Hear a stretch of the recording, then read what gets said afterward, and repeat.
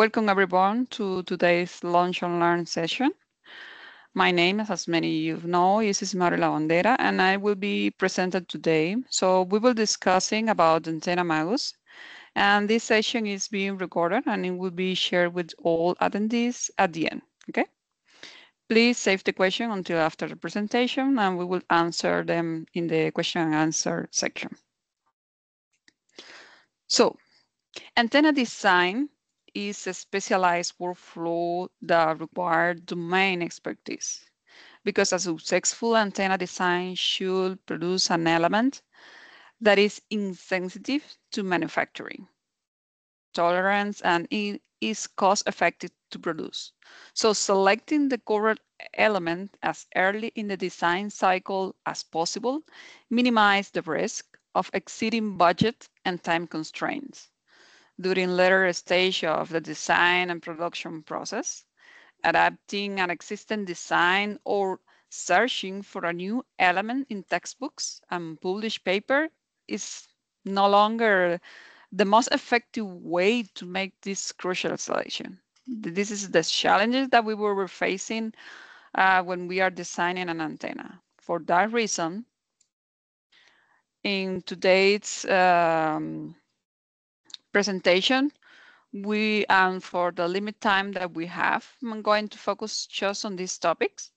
Uh, we will see advantages of the antenna magus, um, different section of the design, export. We will see a design example, uh, doing that on a simple example on antenna magus.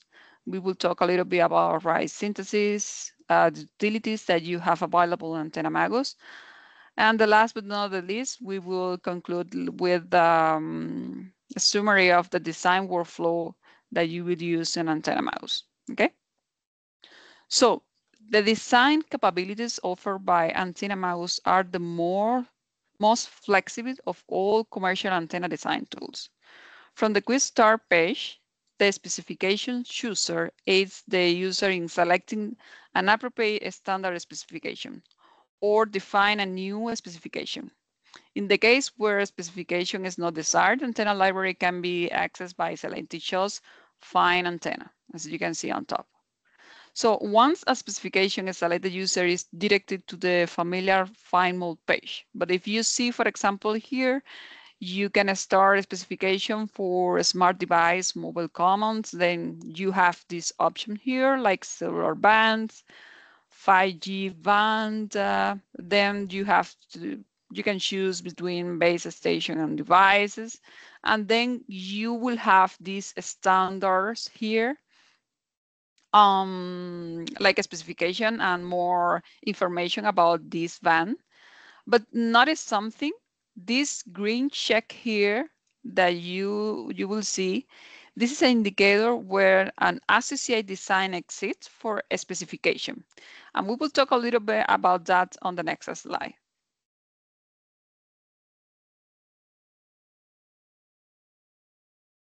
Ah, sorry. So in find mode, which is this area, uh, this window, the active uh, specification will be shown in the palette. Okay. So in selected specification, candidate prototype have been included, also known as specification-based design. If you notice these green um, options that we have here of the antenna, these are specific based designs based on the specification that we choose before. So this static antenna design taking zero operation into account and thus speed up the development of a standard design as integrated device. Therefore, by optimizing for a particular scenario, um, this specification-based design offers practicality and expense of flexibility because you cannot change too much or you cannot change the model of this design compared with other options that you will have on the bottom, for example, that we give you, give you this specification chooser uh, number. So uh, once specification has been selected, any available uh, specification-based um, uh, mm, design um, will be listed first on the Find Mode work workspace, like you will see here. Once you choose the prototype that is not a specification-based design, then you can continue to the evaluation of the design. If you see uh, on the top, you will have this specification, you will have the preset specification, you will have the specifications of based on your selection, what you can choose the other options on the bottom. And you will have the keyword that you can add more uh, keyword, for example, planar or direct uh, directivity, some some keywords that you will use on on on these terms. So once you have found and add the antennas that may be suitable for your application to the collection, uh, Antenna Magus can help design them to, to meet your electrical expectations. The overview in the main window of the antenna aims to provide a summary of the device and all its design. Once, once the antenna has been designed by Antenna Magus, its performance can be estimated so at the end, you can compare the physical size or performance between designs, like you can see on the on the right, and and different um, and choose the design that you are going to implement. Okay, based on the KPIs that you have already has for your antenna. One of the, the other advantage that we will need to mention is the export option. Uh, an Altair, FEKO, or CST Studio model of any antenna can be exported by Antenna Magus. So these models are completely parametric for the dimensions indicated in the Antenna Magus documentation. They have also been validated against results available in lit literature and tested to ensure that they evaluate correctly for a wide variation of parameters. And this is our the typical step that we should follow when we are exporting an antenna. So you have your you will see on that on the top of the model of antenna magus this option of model export then it will open the mod export window and you will have the option between FEKO and CST. You can choose the type of the model. Probably you will have another option for frequency solver. Depending on the model, you will have uh, these options. And then you can export the model. And if you notice, this is the image of CST, and you will get all the parameters that we were used for the design of this antenna on CST, which is also, also already um, and you will have all the settings for to simulate your your your model okay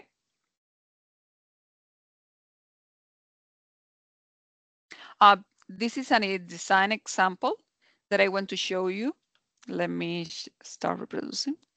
In this example, uh, we were using a radar bands, X band for more specific, and we can we choose the the one that we are designing um, start designing the process checking the the type of substrate that we are going to implement and uh, verify that all the parameters that we have here the estimate performance if it's already uh, and then you can export it to CST and at the end you can check the performance of the on CST, full wave analysis. Okay, it is quite simple because it's, you don't have too much to complicate in this case, but you can do more on antenna magus. You can check the performance between several antennas, or if you choose a SBD option, which is a specific, uh, I forgot the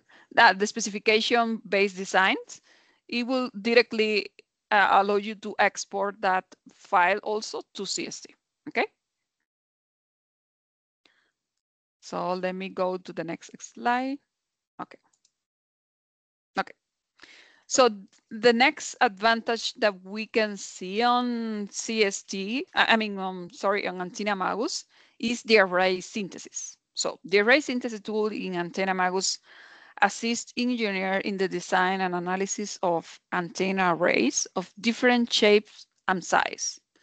So the tool includes the ability to synthesize typical array layouts and excitation distribution for objectives like gain, beam width, um, uh, screen angle, side lobe levels. So user can import externally defined layouts and specify 2D patterns of individual elements. So you can, or you can use the, the ones that you already have on your collection also. Um, yeah, and you can export different formats. So let us talk, if you, if you notice, these are all the type of, of arrange for the array that we have inside of CS on, on Antenna Magus. You have different options. You can bring other options also if you need it. And you can you export this array layout to use it on array task. We will talk about that. If on the bottom also, there is a good link. I would share this presentation with you guys. So you will see this link here. It will give you to more information about how to work with the array layout. And this is an example how to export the array um, representation to CST and use it on array task. Because for those that don't know, this is uh, this is available. So you once you have your array with the representation that you need, just go to export physical, and then in um, you will save that uh, TSV file. Then on CST, when you have your element, just go to array task and you it will ask you what type of array do you want and you have to choose the TSV file and find the one that you exported. And once you have there, if you notice this type of array, it is not available on CST by default. So you can have more options thanks to, to Antenna Magus, okay? So something another important is Antenna Magus is more than just a database of antennas. It is a toolbox for antenna engineers full of useful utilities and libraries that can be used to simplify everyday antenna tasks. So the, toolbo the toolbox contains um, collection of useful tools and utilities for antenna designer. These tools include system calculation, uh, system calculator, um, approximation tools, data, data conversion tools, and many others.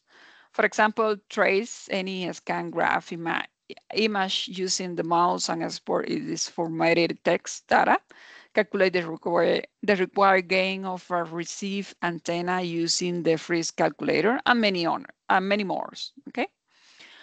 Additionally, Antenna Magus has integrated libraries, as you can see on the left, uh, for a number of materials and components. This the library simplifies finding commercial standard substrates, waveguides, and connectors. Waitlist the Radome library contains a number of the most popular aerodynamic, aerodynamic nodes, cone shapes, substrates in the substrate library may be used when designing antennas in Antenna Magus. So as an example, I just showing you that you can, uh, inside of the connectors library, you will have typical standard connectors. And this is important when you are working with your antenna on CSTM. You need to design the, the connector because you want to know all the the complete behavior when your system or you want more accurate result when you're comparing with measurement result, it is important to include uh, the connector. So you can export this type of model to CST. Okay, this is important to know.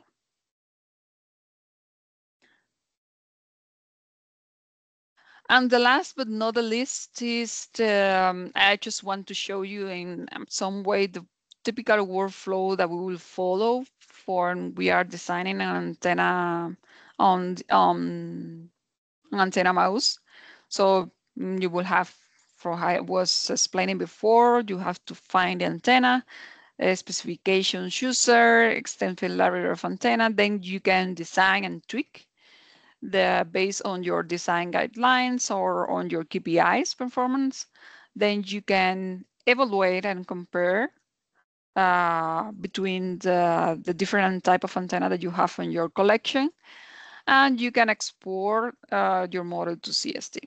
So at the end, Antenna Magus provides the capability to design and evaluate more than 350 antennas and array types, concise and accessible information about the different type of antennas and topics, um, as well as many useful tools and libraries and exportable accurate simulation models are also included. So this is a powerful and flexible design tool for anyone for working with antennas. Okay. So thank you. Um,